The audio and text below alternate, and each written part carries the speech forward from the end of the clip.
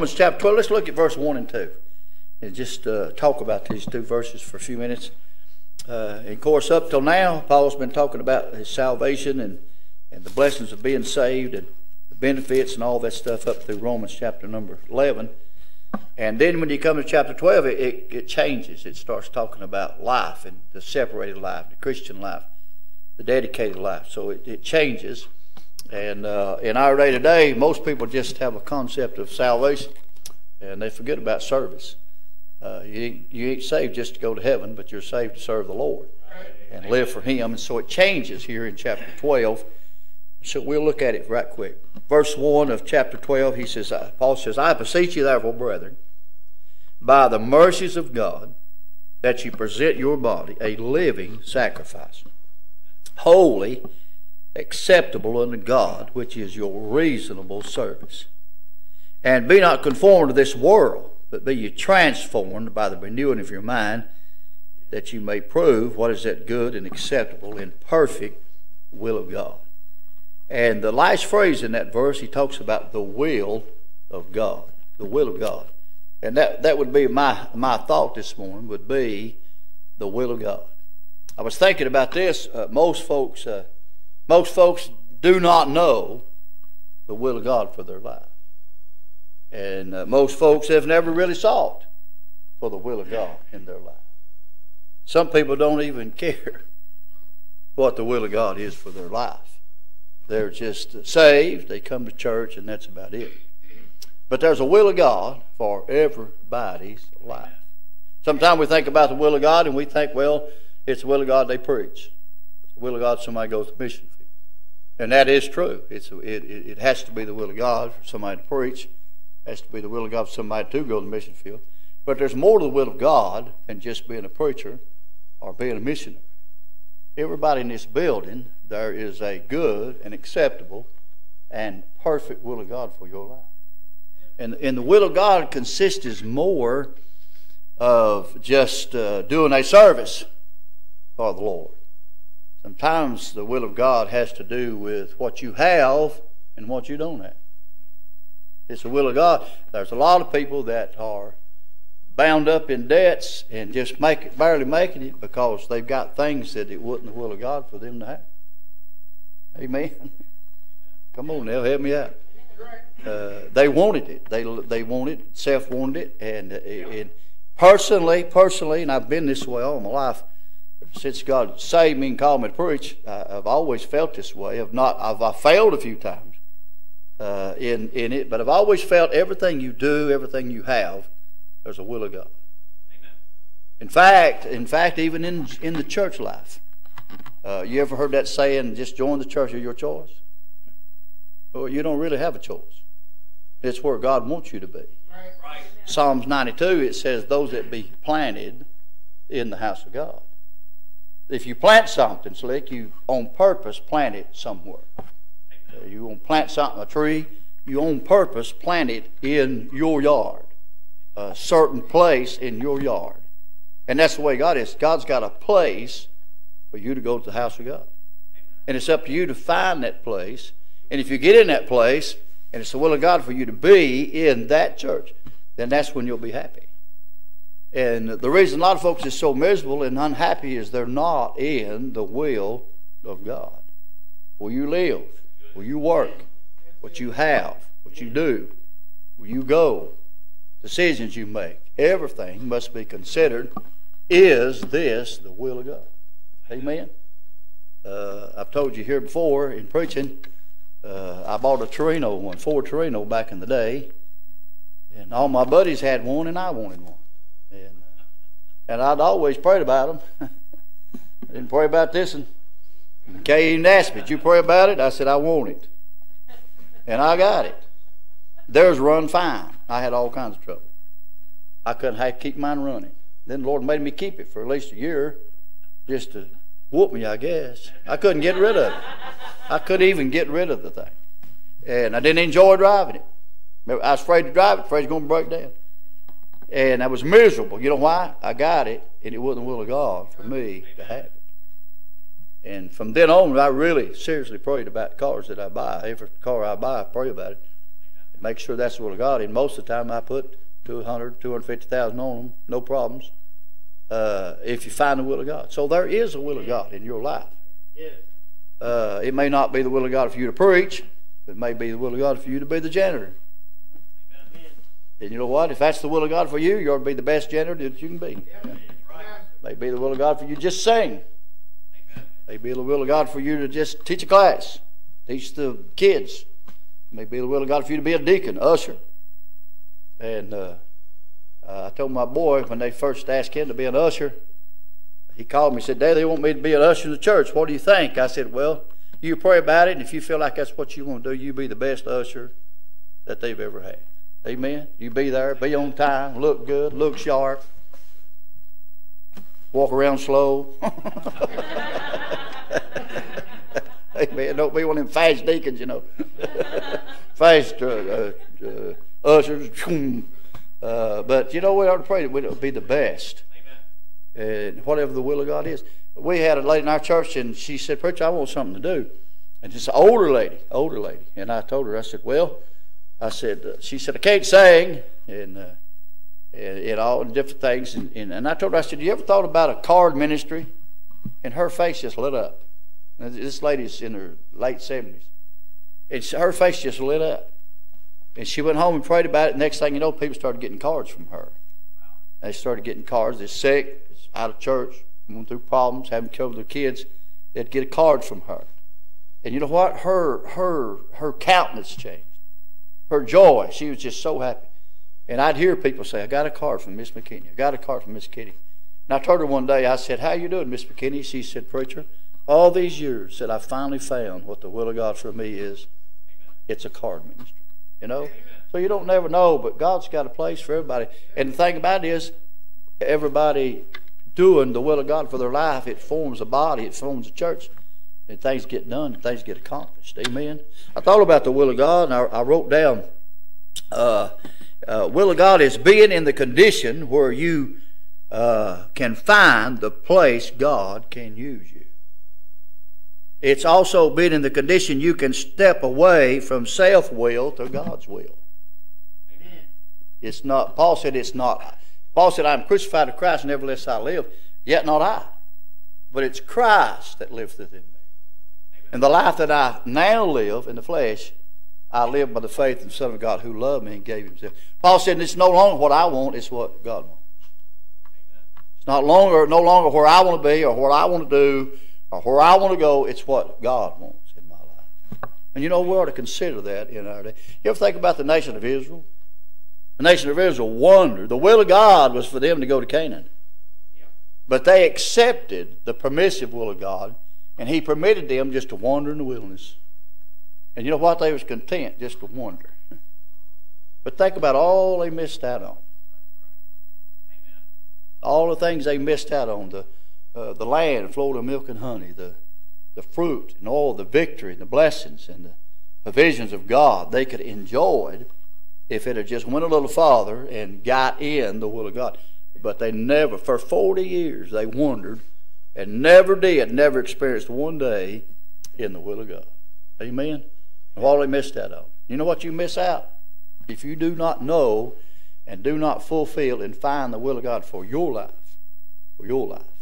I had a pastor call me yesterday and he said, Brother Mike, he said, I need some advice. I said, okay. And he said, uh, uh, our, our church situation, you know, the virus and different things that's going on, and and he said, uh, he said, now that so and so their church and so and so their church. And I, and I told him, I said, let me just stop you right there. I said, you do what God wants you to do for your church. Don't worry about nobody else's. You do what you God wants you to do and what works for your church. Don't worry about everybody else's church. You know what? We worry about what everybody else is doing. You ought to find the perfect will of God for your life. Amen.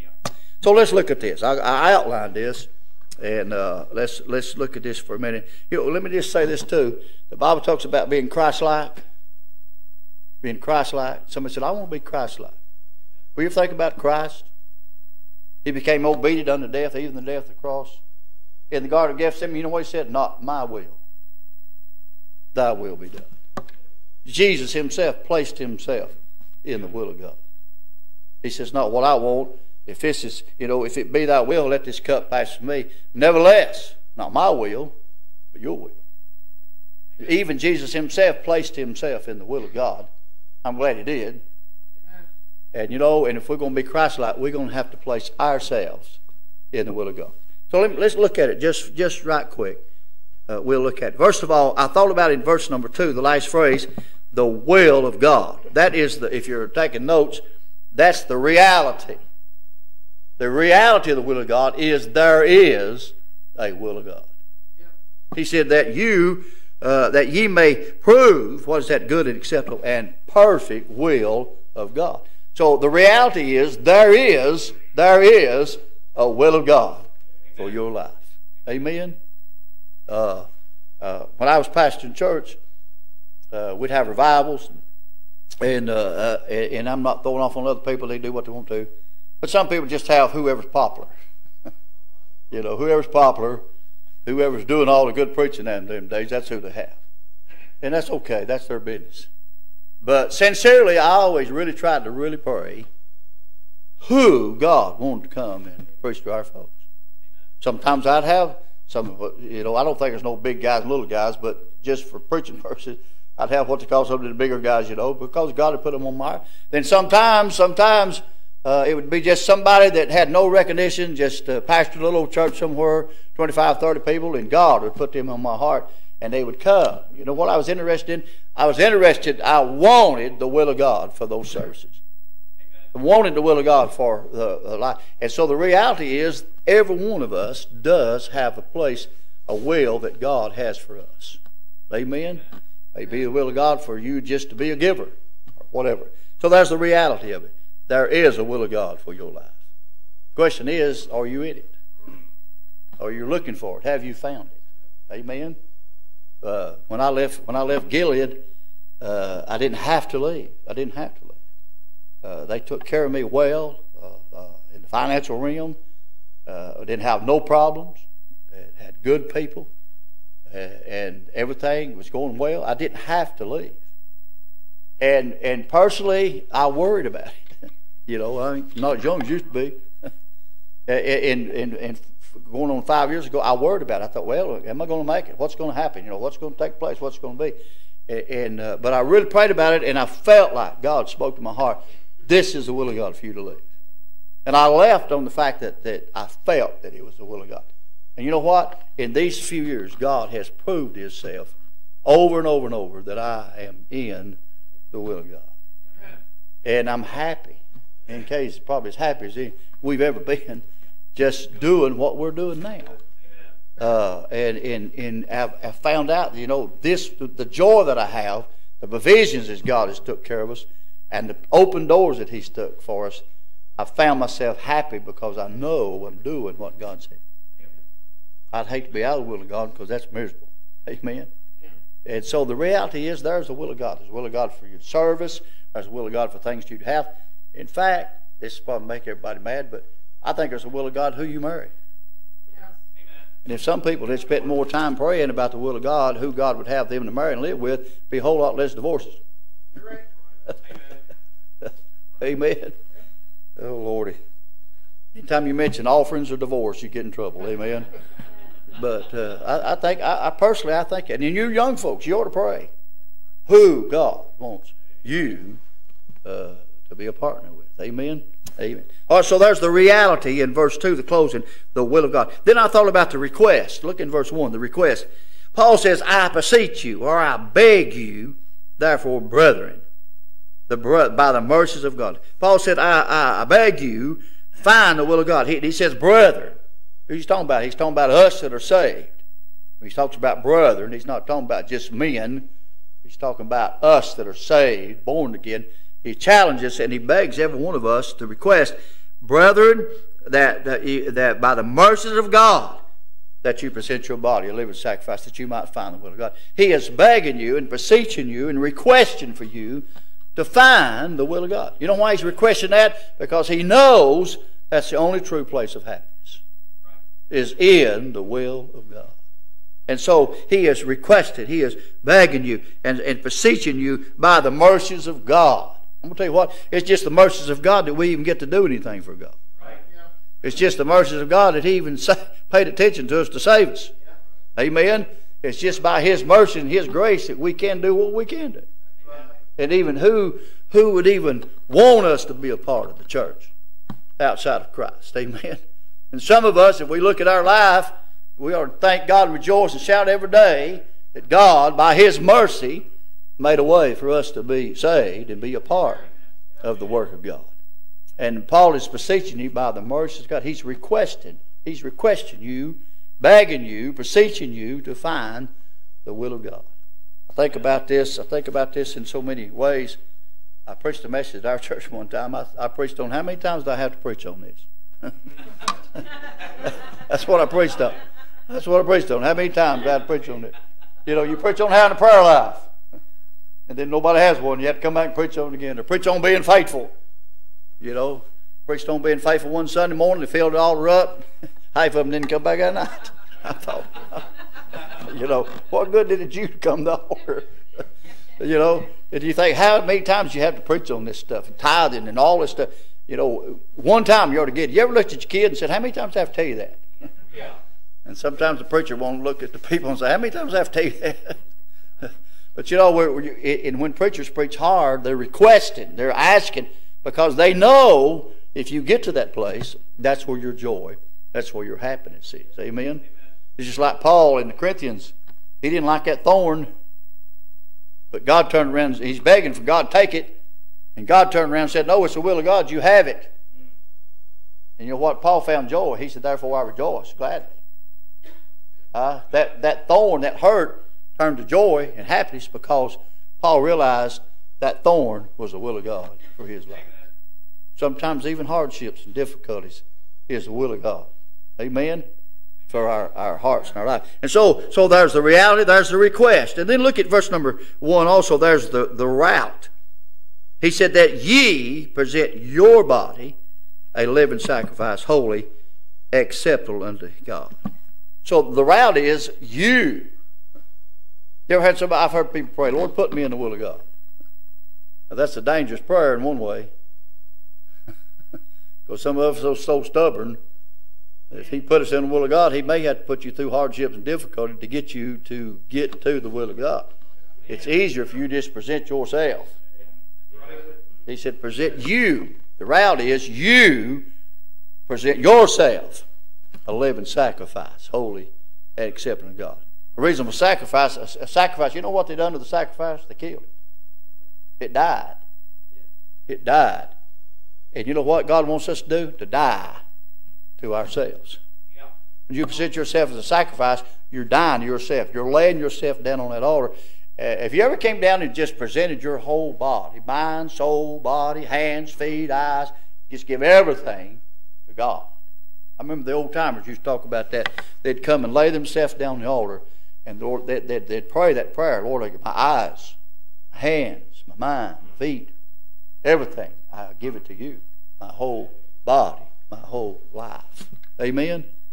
And so that's what he's talking about a living sacrifice. You ever heard somebody say, Well, I'd die for the Lord? He ain't interested in you dying for him. He don't even want you to die for him. God ain't looking for martyrs. He's looking for people that will live. He said, a living sacrifice. Holy. That gets most of us right there, ain't it? Holy. Holy. Uh, acceptable unto God. Now, catch that phrase. The route is you come and present yourself, you die out to yourself, and, and, and you confess your sins and get your life clean and the holiness of God comes in your life, and God is the one that you're trying to be acceptable to. Amen. He's the one you're trying to please. He's the one. My my son is working at a job and and uh, he, he he talked about well this and said that and this and said this and and he said so and so said and I looked at him and I said I'm going to tell you what you need to do. You need I said who's your boss? He told me. I said that's the one you need to please. He's the boss. And sometimes we're worried about what everybody else thinks. God is the one. God is the one they want to please. God is the one. And, and, and even as preachers, we, we fight that. Josh, I know we, you, you, we face this. You ever get a message sometime, Josh, and you think, whoo, I don't want to preach that. Uh. And you really don't want to preach it because you're sitting there thinking, this and this and this and this and needs that. and if I preach that, they're going to think, well, he just throwing it at me. Amen. I've done that. I think, man, if I preach that, they know I know. you know, I don't want to preach that. Uh, but you know what? You you have to preach to please Him. Right. You preach to praise the Lord. You, you sing to praise the Lord. You know what? Singers don't don't don't get on me here.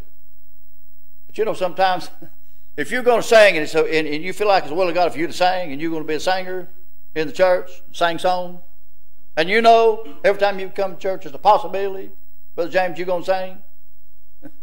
You know what you ought to do? You ought to pray all week. Lord, what song should I have ready to say. If anything gets on my anything gets on my nerves, it's calling somebody to sing. And they say, Well, you gonna sing tonight? Well, no. I could. I guess I could. Let me find one. And we're sitting there five, six minutes waiting on them to find their tape. The guy upstairs, he's got to find it. He's a nervous wreck up there because he can't find the one you want. Amen. If you're going to sing, you ought to go by the sound room and say, hey, if I get called on today, this is my tape and it's number four. I'll be ready. if they don't call on me, we'll do it again next week. amen. and all the singers said amen. Amen.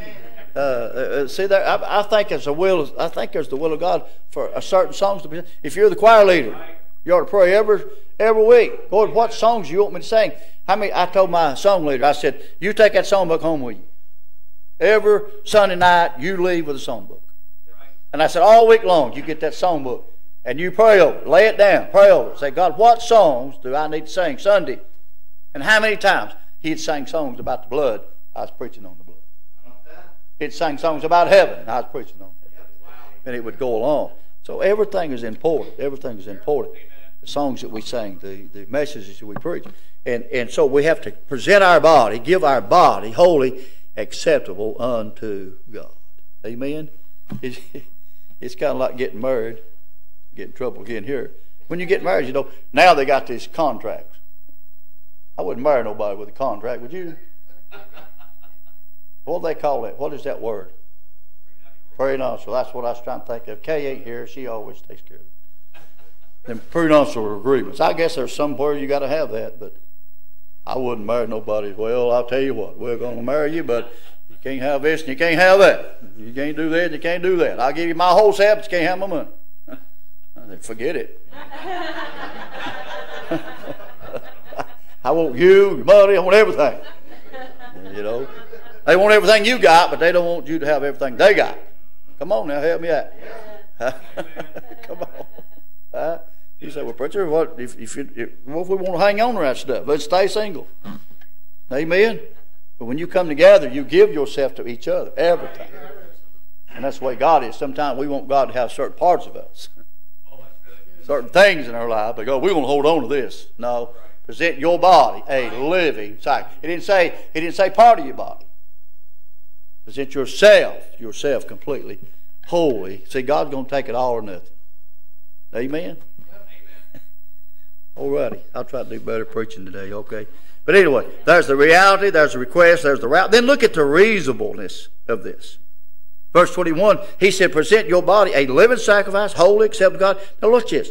Which is your reasonable service. Yeah. In other words, he said, after you give everything, it's just a reasonable service. Right. We've got that idea. If we give everything to God, well, we're just super. Uh, yeah. I wish I wish some preachers could learn that. You ever see these preachers? They come walking in. You ever see a boy? They, they, some of them make me sick. You know, they. I'm so old. I can just say whatever I want to say. but you know, you ever seen them, brother Josh? They come in, boy. They come in your church. They're going to preach for you, or they're coming in to visit with you. Here they come. You know, like man, I am here. Uh, got that Bible up there. Everybody, I'm here. Uh, just get a seat and sit down. Shut up. Amen. They come in like, my ministry's the greatest ministry. Ain't no other ministry any greater than my ministry. Well, God said it doesn't matter what you've done, it's just a reasonable service. You don't just thank God He had to let you have a little part. Amen. Ain't no big eyes and little eyes. Amen.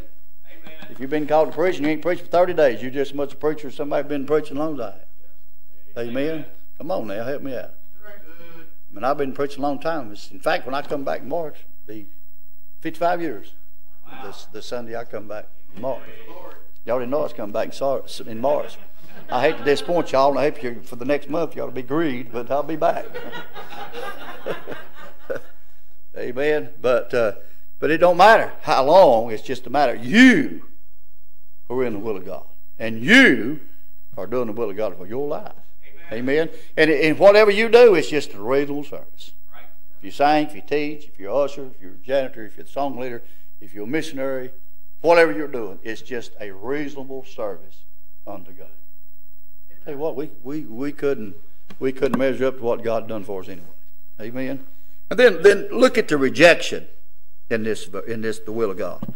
He said, "And be not conformed to this world." The rejection is if you're going to find the will of God, there's some things of this world you're going to have to reject. Probably some things that probably wouldn't be wrong, but it just ain't the will of God for you. Amen. And we're so controlled by this world. Right. I was telling some of the men for church, I seen this thing the other day, and it, and it had this Amish, Amish guy standing there. And this lady was talking to him, and she said, How come, how come you Amish people don't get the virus? He said, We don't have a TV. Y'all get that later, Thad. We're controlled by internet and TV. We're controlled. You ever be sitting around, you ain't hungry at all. They start advertising pizza. You're starving to death, and the next thing you know, you're telling your wife, call and orders one anything. Amen. Kay got a Kay got a ten dollar discount thing thing from Bath Body. What is that? Bed Bed Bath and Body or something like that. She got a ten dollar thing a while back in the mail. I was taking her, and I, and I don't ever open her mail. She don't open mine. We don't open nobody's mail. And I laid her. I always lay her mail down there. I don't care what it is. She she does her own mail. And uh, and, and there was a ten dollar. She said, "Oh, I got a, they they sent me a ten dollar gift uh, gift uh, or discount or something, ten dollar thing." And I told her, I, she said, "We need to go up her." I said, "It takes ten dollars to get up her." Said, "Take ten dollars, guys, get up her. Just do that and stay home. I'll give you ten dollars." I said, I said, I'll give you ten dollars and we don't have to go. Because I said, you ain't gonna get nothing for ten dollars. It's gonna cost me forty or fifty more. That gift, whoa, ten dollars. I know some of y'all laughing because you do the same thing. Uh, get five dollars off. Woo, let's go. Amen. Come on. Years ago, years ago, they they uh, we I was with a preacher, and we was going to get some gas in my car to pull over our brother Josh, and, and it was uh, I, I can't remember back way back there, like say dollar dime. Y'all don't remember those days, but it said dollar dime, and across the street it said dollar nine. I said, let's just go over here and get it. It's cheaper. Got 10, 10, uh, 10 gallon, I think it was. He said, well, preacher, you saved nine cents. he said, probably cost you nine cents to go back across the street. Ain't that what we are? I'll tell you how we are we'll go to the grocery store and we'll get everything but bread and everything but this. We'll say we can get it cheaper over at Meijer's or whatever that is over. And so we'll leave that grocery store, drive all the way over, buy a loaf of bread, 25 cents cheaper. Costs more than that to get over to get it. You know what? It controls us. The advertising world controls us. The world controls us. Fashion, new fashion comes I told somebody the other day, I said, every new fashion that comes out, every worldly dress fashion comes out, Christian ladies have to try it. Boy, they getting away me in there. Woo! we got to try it. That's, we don't be out of style. We don't be out of fashion. Amen? We got to try it. Every new, we got 14 guns, and we got to, they come out with a new one. We got to try it. Amen? New golf club comes out. We got to try it. You know what? We're controlled by that.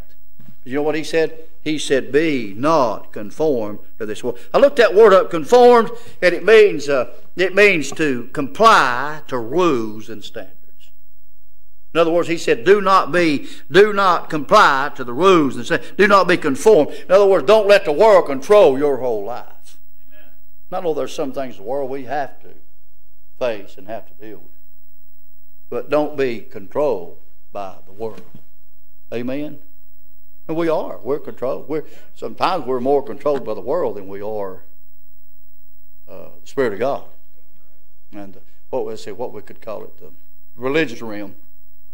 Amen. Sports controls us sometimes more than faithfulness to church. We're more interested in watching little junior knock a knock a ball over the fence than we are being faithful to the house of God. Amen. Amen. I'm not being hard on you. I'm just saying sometimes that controls us more. Controls us more than uh, anything else. It's amazing what pulls people, pulls people out of the house of God, pulls people out of the ways of God. A lot of preachers just went down because the world. They had to have the world. They had to have things of the world. A lot of Christian people went down because they was controlled by the world. They got to have this. They got to have that. They got to do this. Got to everything comes up. We got to try it. We got to do it. Amen. Amen. We got to go try it. New new entertainment shows up. We got to go try it. Amen. Come on now, help me out. new style, new fashion comes out. We we got to handle it. We got to try it. Amen. And uh, I, my wife told me today. She said you need to get you some new clothes. I said why? She said you've worn them same sport coats for 15 years. I said well they still look good and they still work. Nobody else knows it but me and you.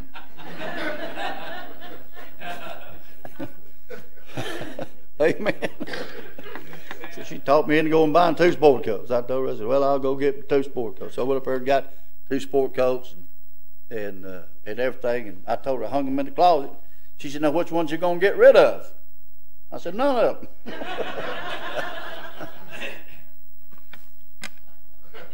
I said, go down in your closet and start. she got two closets. I got one. I said, go down there and start, and when you work your way through, I'll, I'll hopefully, you know, be dead by then and come, you know. But, uh, but you know what? We feel like we got to change fashion, we got to change style. You know, just find the will of God for your life and do what God wants you to do. Be happy. And let me let me hurry because I. I don't want to be long, but he said the reality, the request, the route, the reasonableness, the rejection. Then look at the renewing, the renewing, verse 2. Be not conformed to this world, but be ye transformed by the renewing of your mind. The word transform means to change in character and conditions, to change in structure. In other words, don't be conformed, don't be lined up with the world, but be transformed by the renewing of mind, that you may prove was that good and acceptable and perfect will of God. In other words, you need a, a, a mind change in your life. You know, if you get your mind on something, that's pretty well what you're going to do. Right. Amen. Let this mind be in you, which is in Christ Jesus. Sometimes we, we, we, our mind is so full of our own ways and thoughts. Let me, let me give you an illustration. We was down uh, in uh, down around Chipley, Florida. Me and Brother Doug and and Sidney Weaver and, and several of the preachers were down there in a the meeting, and I took a fellow with me, and he's just an old country preacher, pastors a little old church over there, runs about thirty people. Been over there for years. Probably never run over fifty people. He's faithful at church. Preaches every Sunday, Sunday morning, Wednesday night. He's right there at that church, been there for years. And I took him with me, just an old country boy. He's the one that reads the Bible every day, every day at Greenback, Tennessee, which is a little spot in the road. 20 something years, he goes over every morning, 6 o'clock, and sits and gets his little uh, stool out, little PA system. He sits there as the road comes through, and he reads, he reads a solid hour. They even had him on the news. He reads a solid hour every morning. If people come by and blow their horn, and people there in town can hear his little speaker, and he, he, he reads the Bible. That does it every day, every day but Sunday. And uh, he was with us. We're all sitting there talking, and Slick, they're giving their opinion, you know, and giving their opinion about this. And, and Brother Weaver, and if Brother Weaver, you're watching this, I'm sorry, but he was making more comments than anybody, and, and uh, this and that, and he's all throwing their opinions out. And I don't know we'll forget this. Uh, the, the preacher stood up, and Brother Tyson McKee. And he stood up and he said, Fellas, can I say something? And your pastor said, Yeah. You know what he said? He said, What did God say about it? I pushed Brother Doug. I said, Say something. He said, I ain't saying nothing. I said, "See, it's your time. Sidney said, I ain't saying nothing. you know what? We're all throwing our opinion out. But he said, What did God say about it? You know, we got all our got our opinions but he said, be transformed. How do you transform by the renewing of mind? You find out what God said about it. Right. You know, what God says, what God claims, what God, what the authority you have to stand on is God. He said, be transformed. How do you transform yourself? By the renewing of your mind. My, my granddaughter, she uh, she's uh, soon be 19 next month, and uh, and when she graduated from high school, she's 18. She thought, you know, okay, she didn't need mama, she didn't need daddy, she didn't need nobody. She didn't want nobody to tell her what to do. She moved out from home. She going nobody gonna tell me. I don't know nobody. I looked at her one day and I said, Lexi, I said, the rest of your life somebody gonna tell you what to do. I said, Uncle Sam's gonna tell you when to pay your taxes. I said, when you go to work, they're to tell you when to come in, when not come. She took, going to get a job. She told that lady. She told that lady you're for a job. She said, well, I don't want to work on Fridays and Sundays, and I want to come in at this time, and I want off that time. you know what that lady told? That lady told her, said, well, you need to find somewhere else to look for a job. But you don't come in here tell us what to do. You come in here, you're going to work for us, we're going to tell you. She come home. I said, "You get that job?" She said, "No." I said, "What happened?" She said, "She said." Uh, she stuttered around. She said, "She said. She said. She said what you said." you know, they don't, they don't nobody tell you. Will do their thing. I'm I, I'm I'm Lexi. Everything's okay. The whole world stemming around me. Oh no, the world don't stem around. And and same thing in Christian life. We think everything was no. You'll be conformed to His. Transform. You read the Bible. That's how you transform your mind. Get your mind think, okay, this is what happened. This is what works. Amen. And then let me close with this. Look at the realness. The realness. There's not only the reality, there is the will of God. There's not only request, Paul beseeches, begs to find the will of God. And there's the route. Present your body a living sacrifice, holy, acceptable. There's the reasonableness, which is your reasonable service. There's the rejection. Be not conformed to this world. There's the renewing, but be you transformed by the renewing of your mind. And look at the look at the realness of this thing, that you may prove what is that good and acceptable and perfect will of God. Huh? If you do all that, you know what you'll find? What is that good and acceptable and perfect will of God? You ever heard somebody say, I am in the perfect will of God? There's been times, there's been a few times that I didn't really know. I wondered. Turned out okay. But there's been a few times I was in the perfect will of God. I preached, uh, I preached uh, for Brother uh, Bobby Cato in his new church. I preached over three weeks ago, guess it was. And uh, I preached Sunday morning and Sunday night for Brother Bobby and uh, and I told I told uh, my wife I said it, it, it's it, on Saturday I said you know what I said of all the places I've been lately I said I feel like we're in the perfect will of God being where we are today at, at this church. And I preached, Brother Josh, that Sunday morning. I'm not bragging on myself, I'm talking about the Holy Ghost. Holy Ghost took over, and I preached myself to death on Sunday morning filled the altars up. God really moved. Came back that night, preached, and God moved, and God blessed. You know, and, and, and I felt good. I had peace in my heart. I felt like I was in the perfect will of God, and I preached what God. You know what? I left there with joy in my heart. And Brother Bobby said we we uh, we might come back and have a meeting or something. He told me the next day. He texted me the next day. I was driving down the road, and he said, "You know what, preacher?" He said, "I've had 35, 40 people text me." We need to have a meeting. We need to have him back. We need to have, you know what? Because it was the will of God. You know, some, you know, and, and so it's important. Good, good, the good will of God. Boy, it's good to be in the will of God. And, and acceptable. Acceptable. In other words, God accepts you because you've presented your body, you've transformed, you've, you've conformed yourself away from the world, you've transformed your mind, you're in the will of God, and you're accepted by God. Boy, ain't it good to be accepted and know you're well pleased in His sight. and perfect. That word perfect, it just means mature, maturity, grown up in the will. You know, don't mean you're perfect. Ain't nobody perfect. But sometimes we are in His perfect will. Perfect will. Remember years ago, years ago, I'll tell you this, and I'm through, it's 15 till, but years ago I was in a meeting up in Illinois, and the church was really in the bind. It's having a camp meeting time. Me and brother Sammy Allen and brother, uh, what's that guy used to preach up in uh, around Chicago? Uh, I can't think his name now. He's dead now, big time preacher. But anyway, we was all up there in a meeting together, and the church was struggling with some debts, financial debts, and stuff like that. There's probably hundred people there, and the pastor he he he just expressed, you know, that he wanted people to really pray for him uh, in the church and pray for some of the things that was coming upon them, some of the notes that they had and stuff like that. And I will forget it. Uh, the Lord, he, he, they needed like forty thousand dollars, I believe it was. And this is way back yonder. And uh, and I'm sitting there, first time I've ever been there. And the Lord spoke to my heart, take an offer, get that forty thousand dollars. And I'm sitting there thinking, God, they don't know me. They ain't gonna pay no attention to me. And Holy Ghost kept speaking my heart, speaking my heart, speaking my heart about it. And uh, and uh, finally, I said, Lord, if that's if that's at your will, you you let me know. That's what you want me to do. And the pastor walked up and he said, Well, I don't know, but he said, I feel like somebody's got something to say. Holy Ghost said, You. And I walked up there and I told the folks, I said, We need to take care of this. We can take care of it now.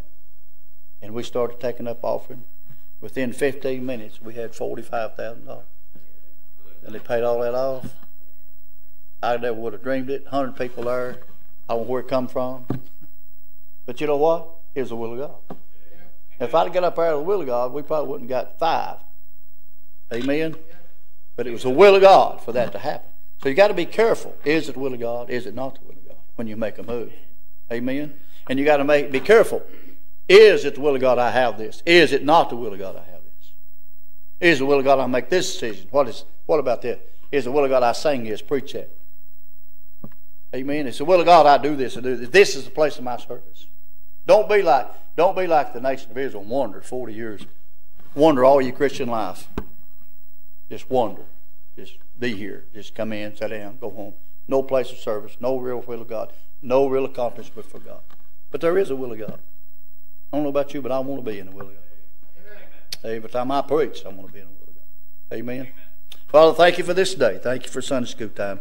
Help us in the worship service, and we'll thank you for it. In Jesus' name, amen. Thanks to listeners like you, IBC has had over 100,000 views on our YouTube channel. If you haven't already, subscribe today. And as always, thanks for listening.